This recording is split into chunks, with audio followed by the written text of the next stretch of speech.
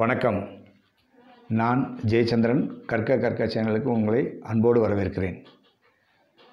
மெர்ச்சன்டைசிங்கில் அடுத்த segment netting அப்படிங்கிறத பார்ப்போம்.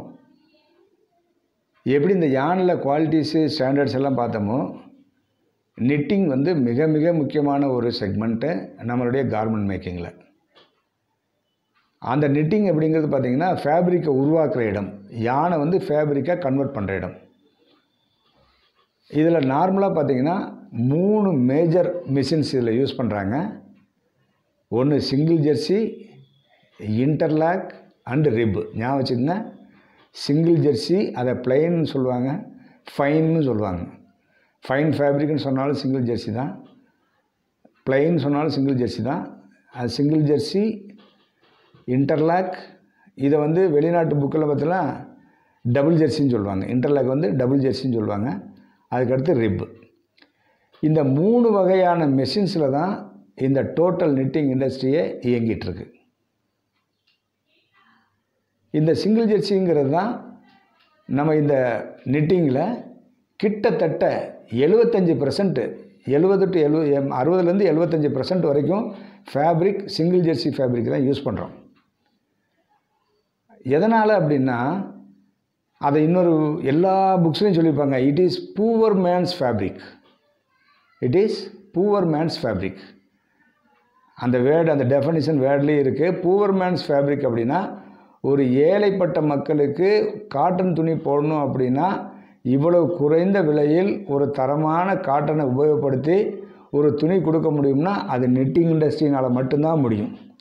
ஹண்ட்ரட் பர்சன்ட் காட்டன் ஒரு நூற்றம்பது ரூபாயிலேருந்து இரநூத்தம்பதுக்குள்ளே ஒரு நல்ல டிஷர்ட் எடுக்க முடியுது இந்தியாவில் அப்படின்னா because of the knitting industry அதுவும் வெஃப்ட் நெட்டிங் வார்ப் நெட்டிங் கிடையாது. ரெண்டு வகையான நெட்டிங் உண்டு. Warp knitting weft knitting and crochet plus socks knitting நம்ம பார்க்குறது வந்து வெஃப்ட் நெட்டிங் நம்ம திருப்பூரில் ப்ராக்டிஸ் பண்ணிகிட்ருக்கிறது வந்து வெஃப்ட் நெட்டிங் வெஃப்ட் நெட்டிங் அப்படிங்கிறது பார்த்திங்கன்னா லூப்ஸினுடைய லெக்ஸ் வந்து ஓப்பனாக இருக்கும். வார்ப் நெட்டில் லெக்ஸ் வந்து க்ளோஸ் ஆகிருக்கும் கிராஸ் ஆகிருக்கும் அப்போ வார்ப் நெட்டிங் வந்து வித்து வயசாக எலாங்கேஷன் இருக்காது. வெஃப்ட் நெட்டிங் வந்து வித்து வயசாக எலாங்கேஷன் இருக்கும். அந்த துணியை நீங்கள் சர்க்குலர் ஃபார்மில் ஒரு துணி இருக்குன்னா அதை நீங்கள் வித்து வயசாக இழுக்கலாம். இழுத்து அது எலாங்கேட் ஆகும்.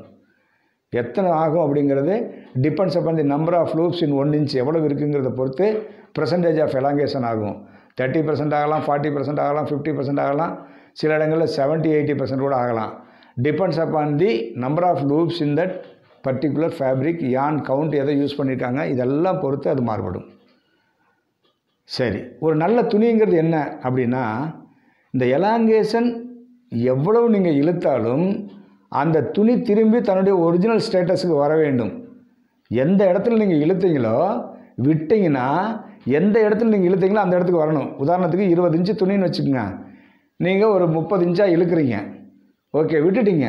இது எங்கே வந்து நிற்கணும் துணி எலாங்கேஷன் எங்கே வந்து நிற்கணும் இருபத்தஞ்சில் வந்து நிற்கணும் அதுதான் நல்ல துணி. அப்போ மற்றதெல்லாம் கெட்ட துணியா சார்? இல்லை அப்படி கிடையாது. அப்படி டெஃபினேஷன் கிடையாது. அதாவது ஒரு ஐடியல் ஃபேப்ரிக் அப்படின்னு சொல்கிறோம் இல்லையா? Ideal knitting fabric knitted fabric அப்படிங்கிறதுனுடைய definition தான் இது. தி ரீசைலன்ஸ் அதாவது திரும்பி வரும் தன்மை. The elongation and the resilience should be in a proportionate condition உதாரணத்துக்கு நீங்கள் என்ன தான் எலாங்கேட் பண்ணாலும் சில துணியில் திரும்பி வராது. அப்படின்னா என்ன அர்த்தம்? அந்த கவுண்ட்டுக்கு அந்த யானை வச்சு எத்தனை லூப்ஸ் வந்து வித்து வயசாக போடணுமோ அத்தனை லூப்ஸ் போடலை. கம்மியாக போட்டிருக்காங்க. அப்போ துணி வந்து சலசலன்னு இருக்குது அதனால் நீங்கள் என்ன பண்ணுறீங்க இழுத்தீங்கன்னா இருபது இன்ச்சு இழுக்கும்போது முப்பது இன்ச்சாக இழுத்தீங்கன்னா அது இருபத்தஞ்சில் வந்து நின்றுக்கிறோம் அதுக்குள்ளே வராது உங்களுக்கு. ஸோ இந்த மாதிரியான ஒரு ஸ்டேட்டஸ் இருக்கிற துணிகள் இருக்குது சில துணி இருக்குது இழுக்கவே முடியாது. நீங்கள் இருபது இன்ச்சு முப்பது இழுக்கவே முடியாது. இருபத்தஞ்சு துணியை வந்து நீங்கள் இருபத்தஞ்சி இழுக்கிறதே கஷ்டம். என்ன காரணம்னா தேவைக்கு அதிகமாக லூப் போட்டாங்க. தேவைக்கு அதிகமாக லூப் போட்டாங்க. சரி அப்போ இது என்ன சார் ப்ரொப்போஷன் அப்படின்னா number of loops in the width wise of the fabric number of loops in the width wise of the fabric எத்தனை இருக்கோ ஒரு இன்ச்சில் number of loops in the width wise of the துணியினுடைய குறுக்கு வசத்தில் ஒரு இன்ச்சுக்குள்ளே எத்தனை லூப்ஸ் இருக்கோ அதை போல் ஒன் பாயிண்ட் த்ரீ டைம்ஸ் வந்து நீலவசத்தில் இருக்கணும். இந்த லூப்ஸ்னால் என்ன சார்? அடுத்த கேள்வி வருதா? இப்போ நான் ஒரு டெஃபினேஷன் சொன்னால் அதில் ஒரு வேர்டு வருது. அது என்னது? Loops that is the fundamental unit of the knitted fabric knitted ஃபேப்ரிக்கின்ற fundamental யூனிட்டே லூப் தான். இந்த லூப்புங்கிறது ஒரு யூஸ் ஊசி தன்னுடைய அந்த துணி ஃபார்மேஷனுக்கு யூஸ் பண்ணுற நூலுடைய நீளத்தை தான் லூப் லென்த்துன்னு சொல்கிறோம் ஒரு லூப் யூ ஷேப்பில் ஃபார்ம் பண்ணுது இல்லையா? அதுக்கு ஒரு ஊசி து நூலை இழுக்குது. அந்த நூலை இழுத்து எவ்வளோ நீளமான நூலை இழுத்து அந்த துணியை அந்த லூப்பை ஃபார்ம் பண்ணியிருக்கு அப்படின்னு சொல்கிறதுக்கு பேர் தான் லூப் லென்த் இந்த லூப் லென்த்தை வச்சு தான் உங்களுக்கு துணியினுடைய ஜிஎஸ்எம் கவுண்ட் ஆகும். அடுத்த கேள்வி ஜிஎஸ்எம்னா என்ன சார் அடுத்த கேள்வி வருதா? முதல்ல லூப் லென்த்து அதுக்கடுத்து ஜிஎஸ்எம் சார் ஜிஎஸ்எம்னா என்ன சார்? இந்த ஜிஎஸ்எம் அப்படின்னா weight of the fabric in one square metre அப்படின்னா ஒரு மீட்டர் நீளம் ஒரு மீட்டர் அகலம். ஸ்கொயர் அதான ஸ்கொயரு ரெண்டு பக்கம் ஒரே மாதிரி இருந்த ஸ்கொயர் அந்த அளவுக்கு துணியை எடுத்து நீங்கள் ஒரு தராசில் போட்டு ஒரு பேலன்ஸில் போட்டு வெயிட் பண்ணிங்கன்னா நூற்றி நாற்பது கிராம் இருந்துச்சுன்னா நூற்றி நாற்பது ஜிஎஸ்எம் நூற்றி ஐம்பது கிராம் இருந்துச்சுன்னா நூற்றி ஐம்பது ஜிஎஸ்எம் இரநூறு இருந்துச்சுன்னா இரநூறு ஜிஎஸ்எம் புரியுதா? ஸோ இந்த ஜிஎஸ்எம்மை கண்ட்ரோல் பண்ணுறது என்னது? கவுண்ட்டு அண்டு லூப் லென்த் இந்த ஜிஎஸ்எம்மை கண்ட்ரோல் பண்ணுறது என்னது? கவுண்ட் அண்டு லூப் லென்த் இந்த ஜிஎஸ்எம் அப்படின்னு பேசும்போது இந்த ஜிஎஸ்எம்னுடைய பாதிப்பு என்ன சார் அப்படின்னா இப்போ நீங்கள் நோ ஒரு பையிங் ஆஃபீஸ்லேருந்து ஆர்டர் கொடுக்குறாங்க. எனக்கு தேர்ட்டிஸ் கவுண்ட் யூஸ் பண்ணுங்கள் சார். எனக்கு ஒன் சிக்ஸ்டி ஜிஎஸ்எம் வேணும் அப்படின்னு சொல்கிறாங்கன்னு உதாரணத்துக்கு வச்சுக்கோங்க. நான் ஏற்கனவே போன ரெண்டு கிளாஸ்க்கு முன்னாடி ஏதோ பேசினேன். அது திருப்பி ரீகலெக்ட் பண்ணுறேன் ஒரு ஜிஎஸ்எம் ஃபினிஷ் வந்து நூற்றி எழுபத்தி ஆறு கிராம் வந்துருச்சு. நூற்றி எழுபத்தி ஆறு கிராம் வந்துருச்சு. அப்போது உங்களை பொறுத்த வரைக்கும் ஆறு கிராம் நஷ்டம். ஒரு ஜிஎஸ்எம் ஒரு ஒரு ஸ்கொயர் மீட்டர் ஃபேப்ரிக் பண்ணும்போது ஆறு கிராம் எச்சா வச்சிங்கன்னா அதுக்கு ப்ரொப்போஷனேட்டாக ஒரு கிட்டத்தட்ட ஒரு டென் பர்சன்ட் உங்களுக்கு நஷ்டம்னே வச்சுக்கலாம். சரி. இந்த நஷ்டம் உங்களுக்கு ஒரு லட்சம் ஆனாலும் ஒன்றரை லட்சம் ஆனாலும் நீங்கள் அதை ஏற்றுக்கிற தயாராக இருந்தால் பயங்காசு ஏற்றுக்கணும் ஏற்றுக்க மாட்டாங்க. ஏன் அப்படின்னா இந்த GSM is the expression of the feeling of the fabric GSM is the ultimate expression of the feel of the fabric ஒரு துணியை தொடும்போது உங்கள் உள்ளங்கையில் ஒரு உணர்ச்சி வரும். துணி நல்லா சாஃப்டாக இருக்கே அப்படின்னு சொல்கிறோம் ஐயோ துணி சரியில்லையாட்டிருக்கே அப்படின்னு சொல்லிடுறோம் தொட்ட உடனே. இது எதை காட்டுது?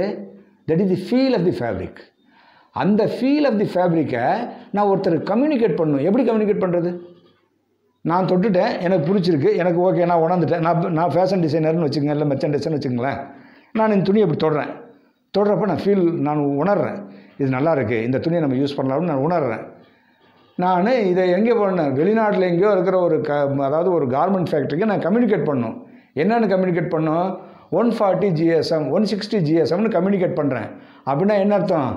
இந்த கவுண்ட்டில் ஒன் சிக்ஸ்டி ஜிஎஸ்எம் போட்டால் தான் இந்த ஃபீல் வரும் அப்படிங்கிறது தான் அதனுடைய டெஃபினேஷன் அந்த ஜிஎஸ்எம்களோட டெஃபினேஷன் அந்த கவுண்ட்டில் தேர்ட்டிஸ் கவுண்ட்டில் ஒன் சிக்ஸ்டி ஜிஎஸ்எம் போட்டிருக்கு. அப்போ தான் இந்த ஃபீல் வந்திருக்கு. அந்த ஃபீல் அவருக்கு பிடிச்ச உடனே அவர் சொல்லுவார் இந்த ஃபேப்ரிக் என்னப்பா பண்ணியிருக்கீங்க அப்படின்னு அவர் கேட்பார் யார்? மெர்ச்சன்டைசர்ட்ட ஃபேஷன் டிசைனர் கேட்பார் இது என்னங்க ஃபேப்ரிக் இதனுடைய கன்ஸ்ட்ரக்ஷன் டீட்டெயில்ஸ் என்னங்க? அப்படின்னா அவர் சொல்லுவார் sir thirties cotton count sir. நம்ம வந்து ஒன் சிக்ஸ்டி ஜிஎஸ்எம் வச்சுருக்கோம் சார். ஓகே அவர் specific எழுதிக்குவார் thirties cotton count one sixty GSM அப்போ என்ன அர்த்தம்? இந்த தேர்ட்டிஸ் காட்டன் கவுண்ட் போட்டு ஒன் சிக்ஸ்டி ஜிஎஸ்எம் கொடுத்து இந்த கலர் பண்ணால் எனக்கு இந்த ஃபீல் வருது. அந்த ஃபீல் தான் ஃபேஷன் டிசைனர் எதிர்பார்க்குறது அப்போ நீங்கள் அதிகமாக போட்டேன் நான் பத்து கிராம் அதிகமாக போட்டேன் எனக்கு நஷ்டம் தானே நீங்கள் ஏற்றுக்கலாம்ல அப்படின்னு சொன்னால் ஏற்றுக்குவாங்களா சத்தியமாக ஏற்றுக்க மாட்டேன் ஆனால் உங்களுக்கு கொடுக்கப்பட்ட அந்த என்ன சொல்லுவாங்க கரெக்டிவ் ஃபேக்டர் என்ன தெரியுமா? Three percent plus or minus அப்போ நூற்றி அறுபதுக்கு த்ரீ பர்சன்ட் எவ்வளவு? மூணு பதினாறு நாற்பத்தெட்டு நாலு புள்ளி எட்டு கிராம். அப்போ நூற்றி அறுபது ப்ளஸ் நாலு புள்ளி எட்டு நூற்றி அறுபத்தி நாலு புள்ளி எட்டு கிராமுக்கு உள்ளே இருந்தால் ஓகே நீங்கள் வந்து you that benefit has been given to you எக்ஸசிவாக மூணு பர்சன்ட்டுக்குள்ளே இருக்கலாம் அப்படின்னா அந்த நூற்றி அறுபத்தி நாலு புள்ளி எட்டு கிராமுக்கு நீங்கள் போயிடலாம். சரி சார் கம்மியாக இருந்தால் அதே தான் நிலமை. கம்மியாக இருந்தாலும் மூணு பர்சன்ட் கம்மியாக இருந்தால் பரவாயில்ல. அப்போ எவ்வளவு? நூற்றி ஐம்பத்தஞ்சு புள்ளி ஆறு கிராம். ஆ, ரெண்டு கிராம். அப்போ நூற்றி ஐம்பத்தஞ்சு புள்ளி ரெண்டு கிராம் இருந்ததுன்னா ஓகே அதுக்கு உள்ளே இருந்ததுன்னா அதை தாண்டிடுச்சுன்னா ஏற்றுக்க மாட்டாங்க அப்போது நான் என்ன சொல்ல வரேன்னு புரிஞ்சுக்கணும்னு நினைக்கிறேன் உங்களுக்கு so GSM the measuring unit of a fabric is not only the measuring unit it is the expression of the fabric feeling it is the expression of the fabric ஃபீலிங்கை தான் இங்கே ஜிஎஸ்எம்ஐ இண்டிகேட் பண்ணியிருக்காங்க அதனால் டீவியேஷன்ஸை அலோவ் பண்ண மாட்டாங்க அவங்களுக்கு அந்த feel வேணுங்கிறதுனால தான் அவங்க என்ன பண்ணியிருக்காங்க? எனக்கு ஒன் சிக்ஸ்டி ஜிஎஸ்எம்மில் இந்த ஒன் சிக்ஸ்டி ஜிஎஸ்எம் இந்த கவுண்ட் போட்டு கொடுங்க. ஒன் ஃபார்ட்டி ஜிஎஸ்எம் இந்த கவுண்ட் போட்டு கொடுங்க. ஒன் டுவெண்ட்டி ஜிஎஸ்எம் இந்த கவுண்ட் போட்டு கொடுங்கன்னு சொல்கிறது காரணம் என்ன? அந்த feel so expression of the feel அப்படிங்கிறதுனால nobody will deviate the buying office or the fashion design or the merchandise whomsoever it may be doesn't have any power to deviate that fashion designers அந்த இன்டென்ஷனை அவங்க deviate பண்ண மாட்டாங்க. So the எக்ஸ்போர்ட்டில் வந்து ஒரு பெரிய risk என்ன அப்படின்னா we must be very very very sincere about the quality நான் கிளாஸினுடைய ஆரம்பத்திலேயே சொன்னேன். இங்கே என்னென்னா quality of the independent company கிடையாது. இங்கே quality of the India is being displayed in the foreign soil நல்லா புரிஞ்சுக்குங்க. ஒரு ஜப்பான்காரவங்க இத்தனை நாள் சக்ஸஸ்ஃபுல்லாக இருந்திருக்காங்கன்னா they sold the quality Japan அப்படிங்கிறத ஒரு பிராண்ட் நேமாக வச்சு குவாலிட்டியை செல் பண்ணாங்க. நாம் அதுக்கு ரெடியானால் மட்டும்தான் நம்ம இந்தியன் ப்ராடக்டை வெளிநாட்டுக்காரவங்க கண்ணை மூடி வாங்குவாங்க. அந்த குவாலிட்டியை ஃபீல் பண்ணுறது நம்மளுடைய ஒவ்வொருடைய கடமையாகும். ஸோ இந்த ஃபேப்ரிக்கை பற்றி நம்ம பேசும்போது நிட்டிங்கை பற்றி பேசும்போது ஃபேப்ரிக் வருது. ஃபேப்ரிக்கை பற்றி பேசும்போது ஒரு மெர்ச்சன்டைசருக்கு அந்த பொறுப்பு இருக்குது நீங்கள் ஒரு நிட்டிங் இண்டஸ்ட்ரியில் போய் கொடுக்குறீங்க. சார் எனக்கு இந்த இந்த இதில் சாம்பிள் வேணும் சார். ஓ, கொடுக்குறாரு அவர். ஒன் சிக்ஸ்டி ஜிஎஸ்எம்மில் ஒன் தேர்ட்டிக்கு எடுக்கிறாரு. சாம்பிள் வாங்குறாரு. அதே சாம்பிளை இல்லை இவர்கிட்ட வச்சுருக்க சாம்பிளை அவருக்கு நிட்டிங்காரர் கொடுக்குறாரு. கொடுத்து எனக்கு இது மாதிரி நெட் பண்ணி கொடுங்க சாருங்கிறாரு. அவர் அது மாதிரி நெட் பண்ணி கொடுத்துட்டா பிரச்சனை இல்லை. என்ன பிரச்சனை இங்கே? ஒரு இருபது வருஷத்துக்கு முன்னாடி நமக்கெல்லாம் சிட்ரா வந்து லூப் லென்த் அப்படிங்கிற ஒரு சிஸ்டத்தை கொடுக்கறதுக்கு முன்னாடி நம்மெல்லாம் லோக்கலில் இருக்கும்போது இன்னும் திருப்பூர் வந்து லோக்கல் டிபெண்ட் பண்ணி ஓடினது நான் செவன்ட்டீஸு எயிட்டிஸ் இந்த காலகட்டத்தில் நம்ம எதை பற்றி பேசிகிட்டு இருந்தோம்? டெக்ஸர் அப்படிங்கிற ஒரு மெஷர்மெண்ட்டை பற்றி தான் பேசிகிட்டு இருந்தோம். டெக்ஸ்சர் அப்படிங்கிறது என்ன? துணியினுடைய நீளவசத்தில் அரை இன்ச்சில் எத்தனை லூப்ஸ் இருக்கோ அதை டெக்ஸ்டர்னு சொன்னாங்க. இத்தனை டெக்ஸ்சர் இந்த கவுண்ட்டுக்கு வச்சா இத்தனை ஜிஎஸ்எம் வரும் என்பது சொல்லப்பட்டது. அப்போ அந்த டெக்ஸ்டரை வந்து ஏற்றி இறக்கும்போது ஜிஎஸ்எம் மாறுபடும் அப்படிங்கிறத வந்து நடைமுறை வச்சுருந்தாங்க. அக்யூரசி வரல. பிறகு தான் சிட்ராவுடைய கைட்லைன் பிரகாரம் எவ்ரிபடியை சுவிட்ச் இன்டு தி லூப் லென்த் அப்படிங்கிறதுக்கு சுவிட்ச் ஓவர் பண்ணாங்க. அந்த லூப் லென்த் வந்த பிறகு தான் கொஞ்சம் பிரச்சனைகள் சால்வ் ஆச்சு. அந்த லூப் லென்த்துங்கிறது என்ன எப்படி பார்க்குறது அப்படிங்கிறதெல்லாம் நம்ம பார்க்க போகிறோம் நிட்டிங்கில் மிஷினு மிஷினை பற்றி நான் அதிகமாக பேச மாட்டேன். பேசுவேன் ஆனால் அதை ரொம்ப டீப்பாக பேச மாட்டேன். ஆனால் மெஷின்லேருந்து வர்ற துணி எதனால் ஆயிருக்கும் அப்படிங்கிறத பேசுகிறது தான் இதனுடைய குறிக்கோளாக இருக்க முடியும். ஏன்னா நான் பேசுகிறது மெர்ச்சன்டைசிங் மெர்ச்சன்டைசிங்னா தரமான துணி தயாரித்து கம்மியான விலையில் கொடுப்பது எப்படிங்கிறது தான் concept the product should be good and the rate should be competitive enough to the compete with the other competitors உங்களுடைய காம்படிட்டரோடு நீங்கள் வந்து கம்பீட் பண்ணுற மாதிரி உங்களுடைய ரேட் இருக்கணும். அதோடு மட்டுமில்ல குவாலிட்டி காம்ப்ரமைஸ் பண்ணாமல் இருக்கணும். A good merchandiser always tries to give a best material without compromising any quality with the lowest possible rate underline the word lowest possible rate so அதை நோக்கி தான் நம்ம நகர்ந்துட்டுருக்கோம் இந்த ப்ரிகாஷன்ஸில் இந்த குவாலிட்டிஸில் எடுத்தால் அல்டிமேட்டாக நம்மளுக்கு ரிஜெக்ஷன்ஸ் கம்மியாகும் rejection கம்மியாச்சுன்னா you will be cost effective என்னைக்கு ரிஜெக்ஷன்ஸ் கம்மியாகுது இண்டஸ்ட்ரியில் டெஃபினட்டாக அந்த company will be cost effective அந்த ரிஜெக்ஷன் கம்மியாகிறதுக்கு தான் நம்ம எதை எதை பார்க்கணும் அப்படிங்கிறத பார்த்துருக்கோம்.